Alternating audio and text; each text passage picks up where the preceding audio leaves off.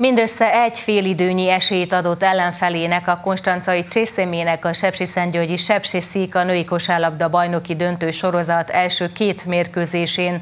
A Szentgyörgyi csapatnak a második meccs volt minden bizonyal az utolsó a hazai pályán az idényben.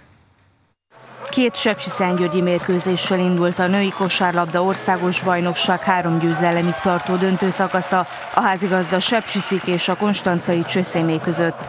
A két fél közötti egyensúly csak az első meccs első fél idejéig tartott, amikor még egyenlőt mutatott az eredményjelző. A második fél időben aztán állva hagyta ellenfelét a Szentgyörgyi csapat, és 94-63-ra hozta a találkozót. A második meccsen már az elejétől érezhető volt a hazai fölény, ezt 101-51-re nyerték a Szentgyörgyiek. Játszottunk két jó meccset Konstanca ellen, én úgy gondoltam, hogy erősebb játékerőt fog képviselni, de talán az, hogy betartottunk minden taktikai utasítást, megmutatta a két fölényes győzelmet.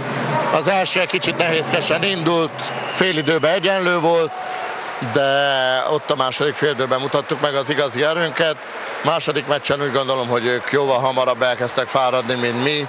A három győzelemig tartó döntősorozatban így 2 0 vezet a Sepsiszik, ezzel azonban nem elégednek meg, veretlenül szeretnék zárni az idényt. Nagyon örülök, hogy a második mérkőzést is ilyen nagy arányjal és jó játékkal sikerült megnyerni.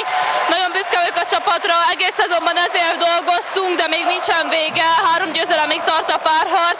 Nagyon okosnak kell lenni, hiszen Konstancára utazunk jövő héten, csütörtökön kell zárni, és nagyon remélem, hogy veretlenül meg tudjuk nyerni a bajnokságot. A sorozat csütörtökön folytatódik Konstancán és szükség esetén pénteken is. Az eddig mutatott játék alapján azonban fölöttébb valószínűtlen, hogy a sorozat visszatérjen Sepsi Szentgyörgyre is egy elvileg 24-ére tervezett ötödik találkozóra.